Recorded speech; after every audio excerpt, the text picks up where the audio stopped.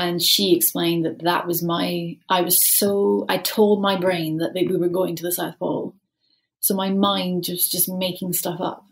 So my mind to me that is scabbing and it's getting better. And that's absolute nonsense. Like if you look at the picture it's clearly not that. Um and i i was i was just getting there no matter what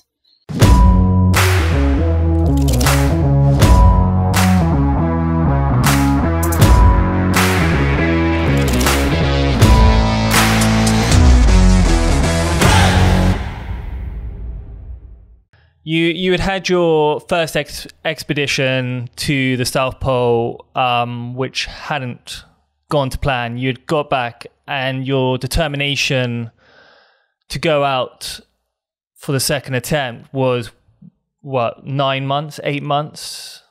Yeah, eight months away. Um, I pre- I knew on the plane home that I was going back. Um, yep. I wanted to wait a couple of months before making the decision because I was worried it was just tied up in feeling like such a failure. Like I remember even in hospital, my phone was on airplane mode in London. I didn't want to deal with anyone. I wasn't ready to, you know, speak to anyone just yet. I thought oh, I'll be safe reading the Metro paper, and I opened the Metro paper, and there's a like second page is a picture of me, and it says, um, "London lawyer in the South Pole failure." My God. And I was like, oh, get rid of that. Um, so yeah, I wanted to make sure my my my why for going back was, you know, the same as it had been the first time, or maybe even better. Um, and then also, it's quite a big decision to go back, to get all that money together again. Um, and uh, I also think for me, it was a joint decision with Matt and I. Um, because it could be quite a selfish undertaking doing expeditions like this. Like your whole life for the next nine months, again, would be about me and Antarctica. There's interviews to do, there's press stuff to do, there's filming for a documentary to do.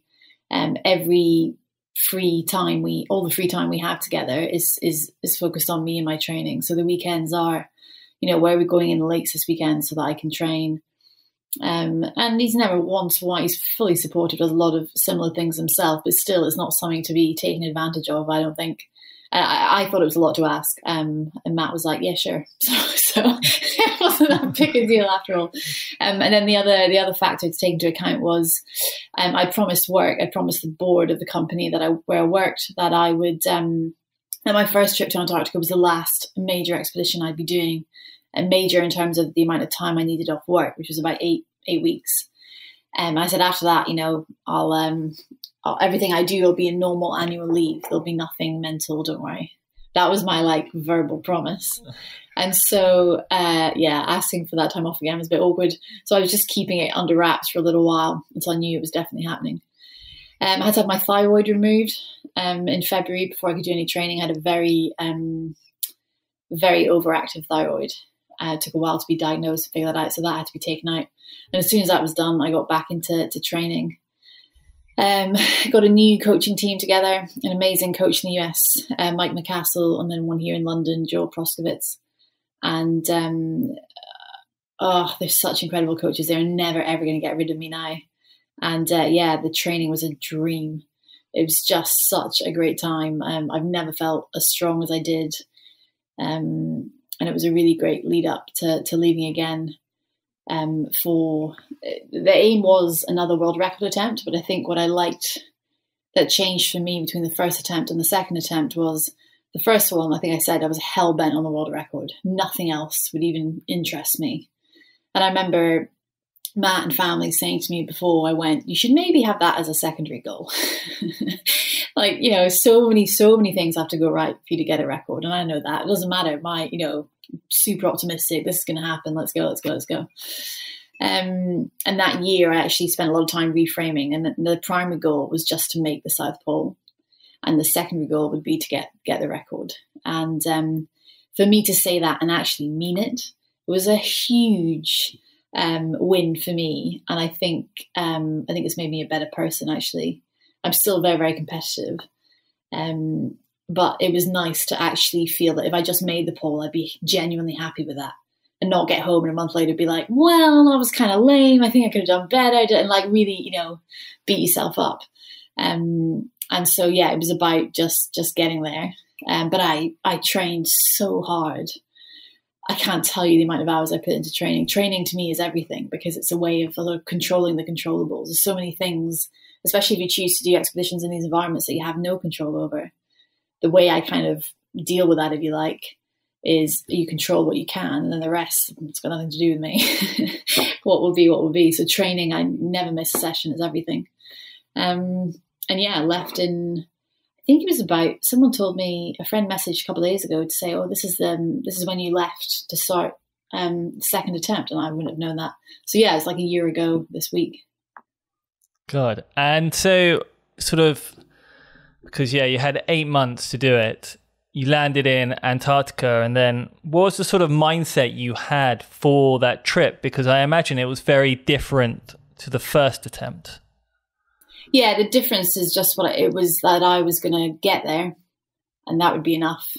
And if I got the world record, amazing. And that was so different from the first year where I was just like, no, if I don't get the record, then that's rubbish, blah, blah, blah. um, it was it was very strange going to do the same thing again uh, because um, there was so many other things I had planned for that this year, that year. so in some ways, it was like ten percent of me was a little bit annoyed that I was going to do this again. Um, and also, I thought Antarctica, I'll be going there once in my lifetime, and that'll be it. It's such an incredible place, but so expensive to get to. I never thought in this lifetime I'd be there twice. So I had a little bit of guilt over that. And I think I had guilt as well because I know how many people want to do th- things like this. You might laugh, it's not a huge amount of people, but people want to do this, and it's so hard to get the money together. It's what the all expeditions come undone because of it. And um, for me, getting the funding for the second time was really straightforward. I called my sponsors, and it was a case of we thought you'd never ask. Like we're so happy you're going back. So it was really easy, and it felt a bit a bit handed. You know what I mean? Like I quite you quite I think you get a lot from fighting for it and having those failures like oh that person's not going to sponsor me after all that company isn't and oh this isn't working like, all those things. And this time it was like yeah here you go. And that was really odd. There was no fight. Um, and I was a bit worried is that going to take away from my performance? I mean nonsense it didn't. Um, but yeah it was a bit of a different mindset. It was a more grown up mindset I think actually. Um, it was probably a bit ridiculous to you know have your your primary goal as being the world record but that's the way I was um, yeah, so started. Uh, it was amazing. The weather was normal. I was like, this is normal Antarctic weather. Um, there's a couple of big storms, but I was like, these are fine. I'm, I'm skiing through them. And I was ahead of the world record pace by nearly two days, um, all the way until things started going wrong. As they inevitably do. yeah, exactly. a couple of things went wrong, but really the main, you know, the, what led to everything going wrong was was the leg. Um, so I had a um, a condition called polar thigh, um, mostly on my left inner thigh, and that is is fairly common amongst um, more women than men actually doing really long polar expeditions. And um, there's a lot of, or there was rather, doctors kind of a bit unsure about what causes it and why. Um, but really, the best explanation we have for now is it's kind of like a severe chilblain. And obviously, staying in the cold makes it progressively worse. Um, and as the skin is trying to heal, uh, so basically, I jumped a st- um, miss a blah, step. What happens is you have these ulcers on your leg. They're very small to begin with, and then they basically start to grow. So you're like, oh, that doesn't look that great. I'll just cover that up. And then it gets bigger and bigger and bigger. And the reason they kind of keep growing, if you like, is they have uh, what doctors call a reperfusion element. And so as the blood flow is going back to the area to try and heal, it actually causes more inflammation, more area gets damaged, and it keeps growing. Um, so there's pictures of my injury um, on the on my Instagram account, and they're they're pretty horrible.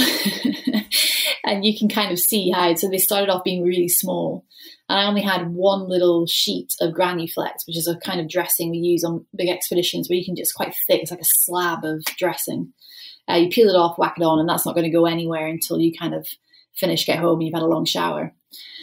Um, and I was running out of that. It's like so my leg looks a bit like a patchwork quilt near the end. Um, but everything came undone. I had a really, really benign fall in a whiteout um, fell over nothing. And as I landed, I heard and felt all the ulcers crack open, basically split open into one big leg wound. And it was it was absolutely horrific. Um, I've never heard a noise like it. And I lay there, you know, just looking up at nothing. It was a whiteout and just crying. I mean, it was the most amount of physical pain I've ever been in. And then at that point, I think I had about 100, 150 miles to go, something like that. And it was like, wow, I, am still going. And at that point, I went from skiing really well. I mean, everything was going so well. Like I said, I was ahead of the world pace, the world record pace. Um, and suddenly I'm skiing and dragging a leg behind me. Um, sorry, I don't think I explained at the beginning. I've got a huge sled behind me with my tent, all my food supply, absolutely everything I could need. So that's not light and um, suddenly dragging this leg, and it it it just became so so difficult. Even things like putting the tent up and down, which in high winds is a fast, speedy job. You've got to be on it, and um, there's lots of kind of you're up, you're down, you're putting snow here, and building snow walls there, and trying to do that with my leg open like that was awful. Um, but yeah, there was I was never ever stopping. That never ever entered my mind. Um, I moaned a lot to, to my dad as the expedition manager, and so I could. There's a way of sending sort of text messages from Antarctica using the Garmin InReach, and I'm very I don't I'm not on comms with a lot of people because it takes too much time. So it's just Matt and my dad and I swear every message was just, my leg, I'm in so much pain, you don't understand. And then I'd apologize for moaning so much. Um, I, I still don't know how I did it. I don't. Um, I had a very few uh, painkillers left. And these were painkillers that were uh, in my emergency bag. And they were in case I fell down a crevasse, broke a shoulder, and I had to be medevaced. And they were to pop and take while I was waiting for the helicopter or whatever. They were not meant to ski with just to help your leg get to the South Pole. Um, so I couldn't take them during the day because on a solo expedition it's just you and you need to have your wits about you for navigation. For you can't be completely out of it. Um, so I would take them at night um, until I ran out, and then I remember actually because uh, you decant everything into really lightweight bags. So my painkillers were all in a little labeled um, uh, like food bag, snack bag. And I remember sitting there licking the inside of the bag to get the very last remnants of painkiller. And um, yeah, it was horrific. I arrived at the pole, and um, the day that I saw the pole when it came into sight, I knew that it was still very, very far away. Um, and I probably should have stopped and camped between between the two places. And I didn't. I skied for 19 hours straight. Um, for the last four or five hours, I didn't stop for, for a drink or food. I was just like, I'm getting there. This is this is it. Got there at about two in the morning at the South Pole, met by the South Pole um, guide, uh, camp manager rather, Dev, and he handed me a beer. so, yeah, it was it was very very strange. For for people listening, what is it like at the South Pole? Um, it feels mostly like a scientific base, and you feel like you're intruding. I wouldn't say. Um, so if you imagine, there's it's the American um, scientific basis there, which is huge. And also, I think, very messy. I do remember thinking, God, you guys are untidy. There's all sorts of equipment just like littered um, in their back garden, if you like. And I was really surprised they weren't more tidy. But anyway, um, and a little, then there's a South Pole right outside their, their base, um, the kind of barber pole that we all know and love. And then maybe half a mile away from there is the, I guess what you'd call the tourist camp, which is tiny. I think there's about eight tents maybe and then a slightly bigger tent where like a mess tent where you can come in and eat and play cards or whatever and that's where i'm allowed to be but there's very specific rules about where you're allowed to go around the scientific kind of base camp um, i wouldn't say it's the most welcoming place actually um, it was very very cold. The sky looks very odd. Um, and sometimes I was convinced I could see curvature, which I obviously couldn't. But it was it was just a very strange place to be, and I couldn't believe after all this time, I'm finally here. Um, but there was a doctor there. There isn't normally a doctor at the South Pole camp, um, but I should explain. Sorry, with my leg, every night um, when I was skiing with that injury, I would have to make a satellite phone call to the main base camp and speak to the doctors. Um, that was compulsory. Um, and every day they said, we need to medevac you, we need to medevac you. And as you know, I'm well versed in medevacs in Antarctica at this point. and there's no way I was being medevaced. And the reason being is I was not unwell. I had no fever. There was no signs of infection in my leg. Like it's a very clean, sterile environment, Antarctica. And so I, I could not see the merit in being medevaced other than you, this is just going to get worse until you get out of the cold. And I decided I didn't, I didn't care about that. Um, and I also thought my leg was getting better. So it kind of makes more sense if you can see the first photo of my leg um, with what I call the patchwork quilt, which has got all the little um, patches of Granuflex dressing. And in between that, you can kind of see uh, it's dried blood. But I, hand on heart, was absolutely convinced that that was scabbing, healthy scabbing. So it's getting better underneath this dressing. That's my mindset. Um, I now know because when I got back to the UK, I was in hospital with it. They brought in a sports psychologist, and she explained that that was my. I was so. I told my brain that we were going to the South Pole, so my mind was just making stuff up. So my mind, to me, that is scabbing and it's getting better, and that's absolute nonsense. Like if you look at the picture, it's clearly not that. Um, and I, I was, I was just getting there, no matter what. Um, and yeah, so there was a doctor waiting there at the South Pole because I repeatedly refused to be medevaced and they needed to take a look. Um, it was kind of luck that he was there, though, to be honest. And um, he took a look at the leg the next day. And him and Dev, who was helping bandage my leg, they couldn't remove any of the granuflex. You need a hot shower to do that. There's no showers at the South Pole. So they just covered it in big, comfortable bandaging just to keep me cozy. And I was put on a diet of morphine and beer until we could fly out of the South Pole. And you can't just leave the South Pole. It used to be a clear weather window at the South Pole and the main base camp. And it's like a, I think it's a four hour flight in between. It's a long way. I mean, Antarctica's huge. So we were there three or four days and I was high the entire time. Um, I don't remember much of it. I do remember getting fed up with being high, but they were just trying to keep me comfortable and also doing anything to avoid infection. I'm now around other people. I can't get a leg infected.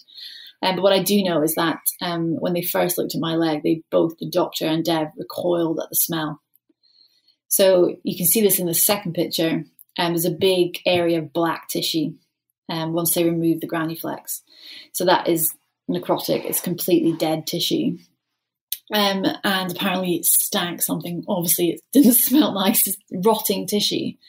I did not smell that once. And the sports psychologist again explained that is your mind saying this, there's no smell there, there's nothing wrong with this leg, we're going to the South Pole. And I think the power of the mind there, once it was explained to me that way, that's just, it just blew me away.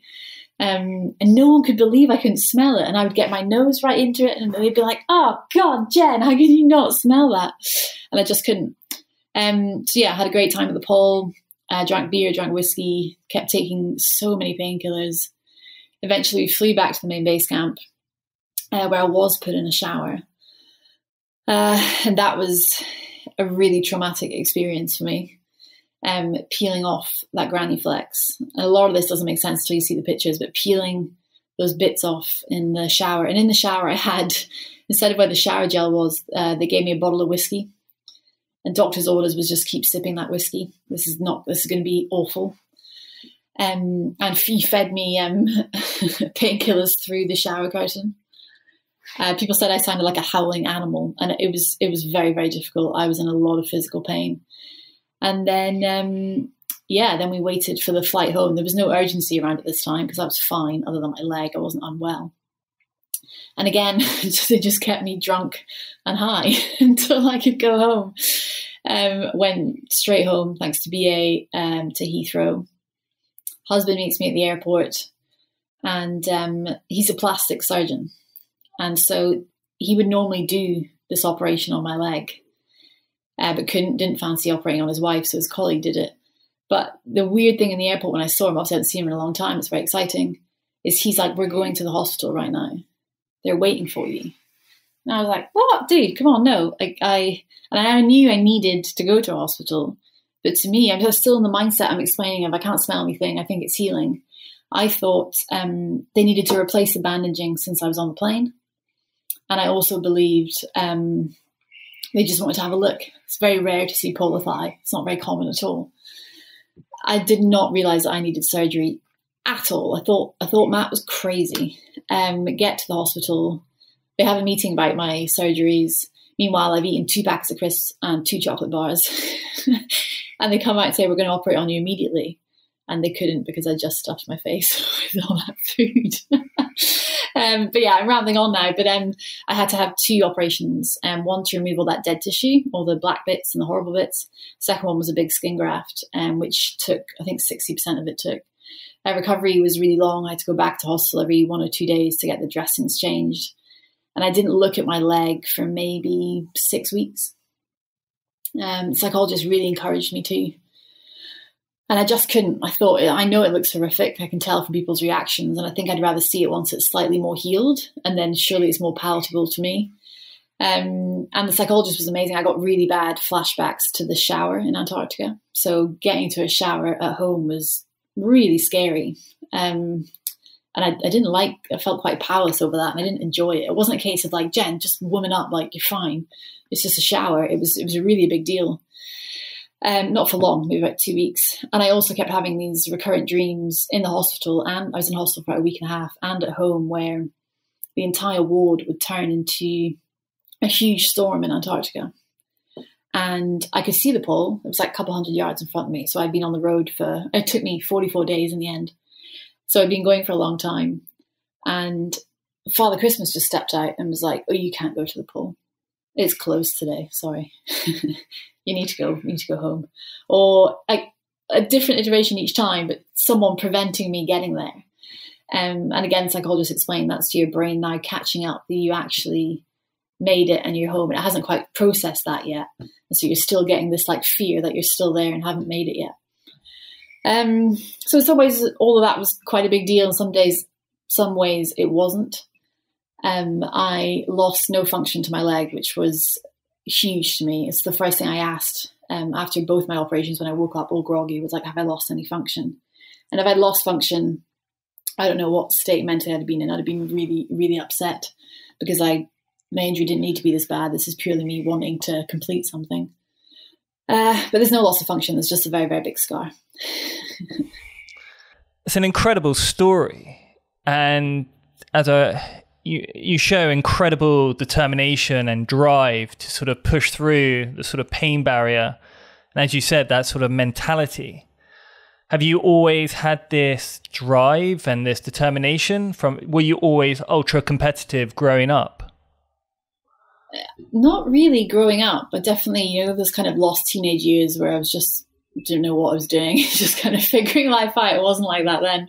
Um, I think once I started getting into ultra running, and first of all, it starts with a half marathon, then a marathon, then a longer marathon, you start to think, wait a minute, all these kind of limitations I'd placed and what I assumed I could do were absolute nonsense. And then suddenly you're doing like 400 mile races, and that seems insane. And then someone's like, well, have you heard about this 500 mile race? And you're like, well, hold on. um, no, I haven't always been super competitive. Um, not in my younger years, but as an adult, definitely, but only ever with myself. I don't play the comparison game with anyone um, I care about what I'm doing, what I'm getting up to.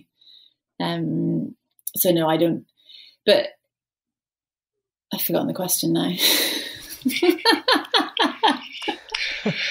That's hilarious. Hold um, on, um, I do remember what it was. Yeah, so the the drive and determination aspect of it.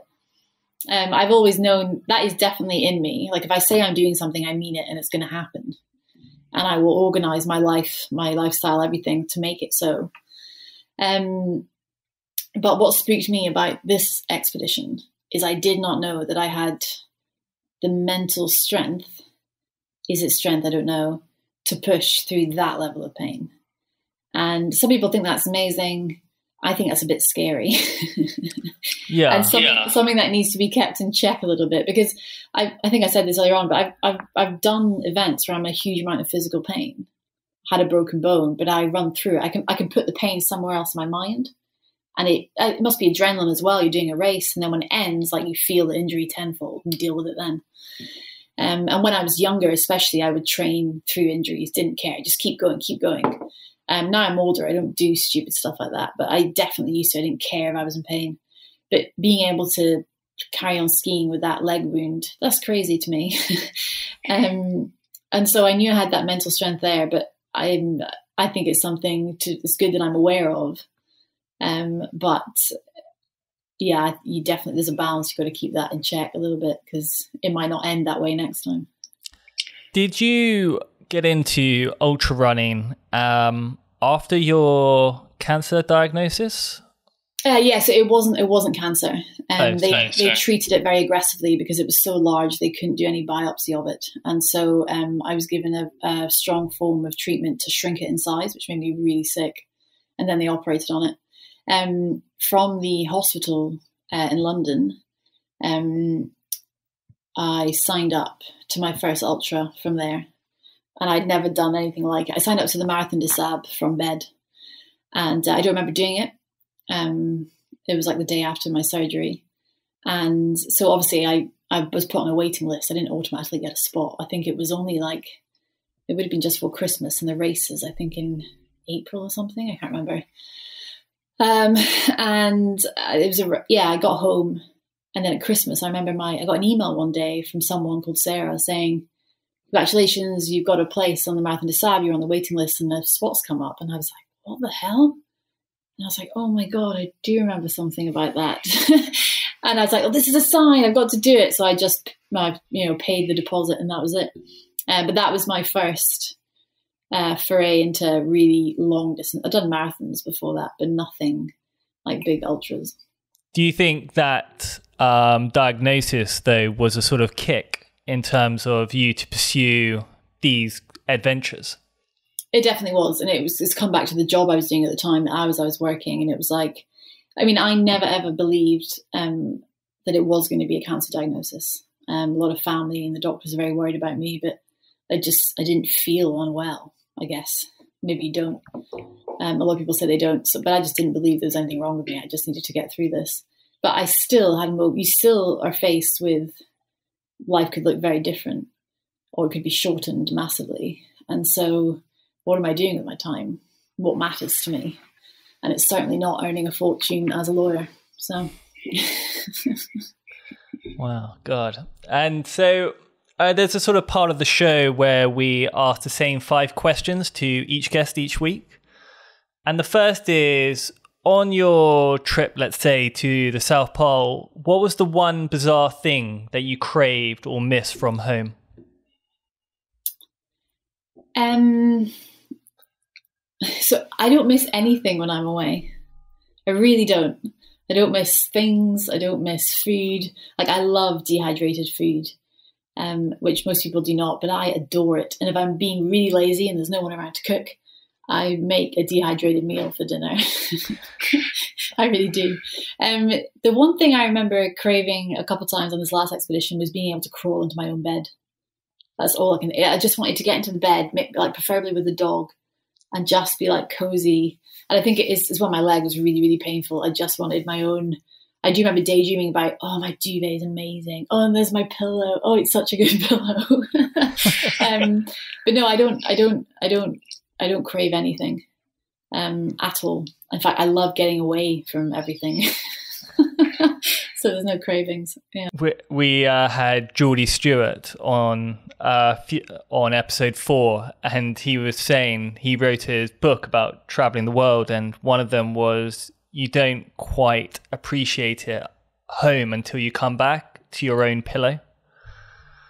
Is your own pillow is everything. Yeah, yeah. yeah. That, that's the only thing I thought about was duvet and my pillow. Um, yeah.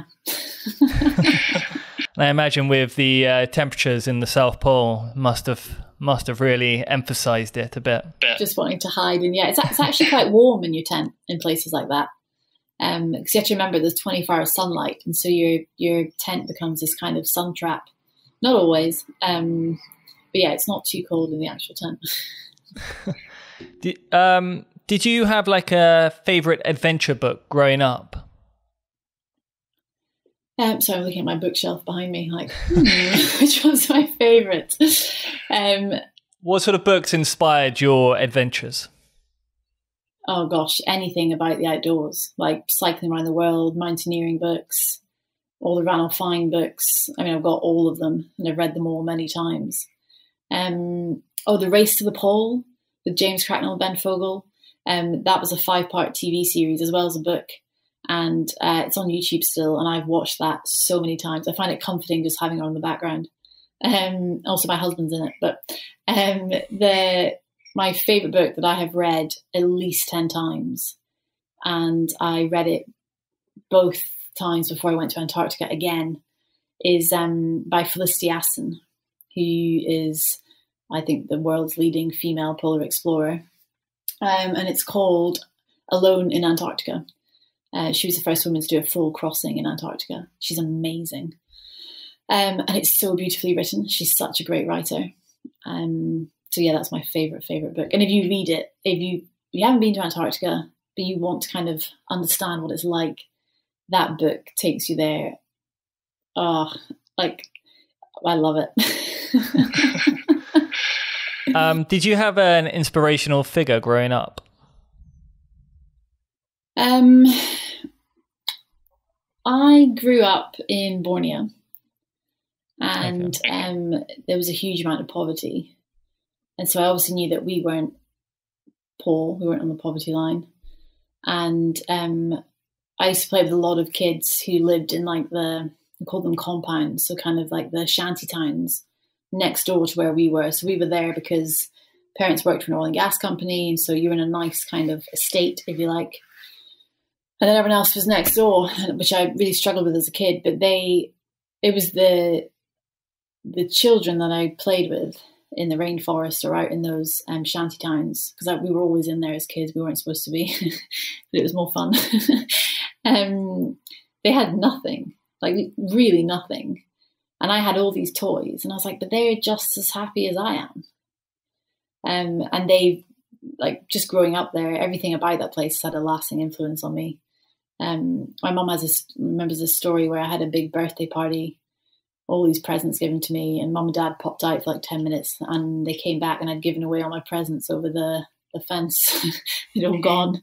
Um, I just really struggled with uh, having so much. Um, and I really, really struggled settling back into the UK. We moved back when I was 12.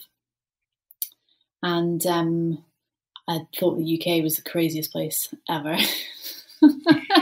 I really didn't like it. Uh, I didn't understand why people cared about wearing branded clothing, um, why they had so much stuff. And I, I, find it really, really hard. But in terms of who's always inspired, it's, it's people like that that I grew up with um, because they had nothing. Oh, amazing. Amazing. Um, do you have like a favorite quote or motivational quote? Yeah, I've got loads. I actually write a lot of quotes on the inside of my tent, my expedition tent. Um, and one I've got in big. Um, so it's the first thing you see when you wake up on the roof of the tent in, inside um, is let routine take command of feeling. I can't actually remember who said it, which is really bad. It's someone in the polar community. I think it's Erling Kagge actually. And um, it's basically no matter how you're feeling, you have a routine to follow. Because on polar expedition, any kind of expeditions, uh, especially long ones, the routine you have every day of I'm up at this time, takes 20 minutes to boil the water and eat, then I'm doing this, I'm doing this, I'm on the road by nine. You have to stick to that routine, especially when you're by yourself. Like if you and I went to do something together in Antarctica, if you were having a bad day, I'd be like, come on, dude, let's get going. You'd be like, okay, yeah. And you do the same for me the next day if I was low. But when you're solo, there's no one there um, to do that for you. So you really, really are independent in the in the true sense of the word. So the routine becomes everything. It's almost like the rule book. Um, and so no matter how you're feeling, you don't want to get out of the tent, don't want to do this today. It's tough because there's a routine. So the routine is king. Um, and then also the number one thing was to never look outside the tent before you got up properly. Because if you saw that it was a whiteout, you'd just be miserable getting ready and take like an extra 20 minutes. it's going to be a oh rough day. So I would never look until I until I got outside. Yeah. oh God, how did you find your routine in lockdown? Um, fine. A lot of people assumed I would struggle in lockdown and go a bit crazy, but actually, I had I really liked it because I had no pressure to do to say yes to things or be anywhere and no one could make me because you're not allowed. That's against the law. Um, I definitely did have a routine though. Um, I stuck to my training. Um, yeah, I didn't miss any training in lockdown. It was just doing it in the living room or on the bike indoors. So yeah, the, the routine was just as important in something like lockdown when every day kind of became Groundhog Day a little bit. Yeah. And I suppose people listening are always keen to travel and go on these sort of grand adventures. What's the one thing you would recommend them to get started? I always tell people to find yourself a mentor, um, especially if it's something that you think is pretty big or is quite new to you, or is maybe an area that not many people have been to. Um, find someone who's maybe done it before, and nine times out of ten, they're more than willing to give you a hand um, and help you out. And I think, like, I mentor a lot of people who want to do things in Antarctica, and it, you know, the first phone call, it's like, I've just got this crazy dream I don't really know if it's possible. And I think it just helps speak to someone. He's like, yeah, it's totally possible. You just need to speak to this person, you need to do this, and da da da, and just break it down. It's like, oh, that's totally achievable. And you're like, yeah, it's fine. But when it, when it's because I had the same, I had a mentor um, when I first wanted to do something in Antarctica, and I think it's then your circle of friends or your family, what you're suggesting to them as your little idea is absolutely bananas. Yeah, yeah. And so you need to speak to someone who, no, that's that's not crazy totally doable. And then you're suddenly like, oh, you're standing up a bit taller. You're like, wait a minute, I think I can do this. Um, so I always say that. Yeah. Okay. And um, what are you doing now? What are your sort of future plans with your adventures, and how can people follow you? So, um, 2020 was cancelled. Everything from 2020 was moved to 2021. Um, the what I was doing next um, was rowing the Pacific, the team of three other women. Um, that was going to be next June, uh, but then something more exciting came along. So I'm currently pregnant, um, and so a lot of things for next year have been cancelled. uh, not cancelled, uh, rescheduled later date. Yeah, but the the one thing I do have in the diary for next year. Um, I've got a document, I'm filming a documentary at the moment, and then in um, October next year, is the Adventure Race World Championships in Spain, um, which I'm in with a team of three others, and that's the um, the first ever all female team to take part part in the Adventure Race World Champs, which is very exciting. And so um, I've never ever trained for something like that with a newborn, but I'm going to give it a go. God, well, good luck, and sounds amazing. And how can people follow this journey? Uh, just on Instagram. just on Instagram. Just on Instagram. Yeah, most straightforward way. Yeah. At Jenny, Jenny Wordsworth. Wordsworth. Uh, yeah, Jenny dot Wordsworth. Jenny dot Jenny Wordsworth. dot Wordsworth. Okay, amazing. Okay, amazing. Well, Jenny, thank you so much for coming on the show today. And uh, I'm sure, like everyone listening, it has been an incredible story. Just an unbelievable determination and drive. Please ignore the uh, smoke signal, smoke alarm going off in the background. But yeah, just a remarkable story. Thank you. Yeah, I do remember the last thing my surgeon said to me was, um, "I hope you wear these scars with pride," um, and I think I kind of do. Yeah. Well, um, yeah, they as as you were describing and the pictures show, it was uh, quite a horrific injury. Yeah, it's not not pleasant. well, again, thank you so much. no, thank you.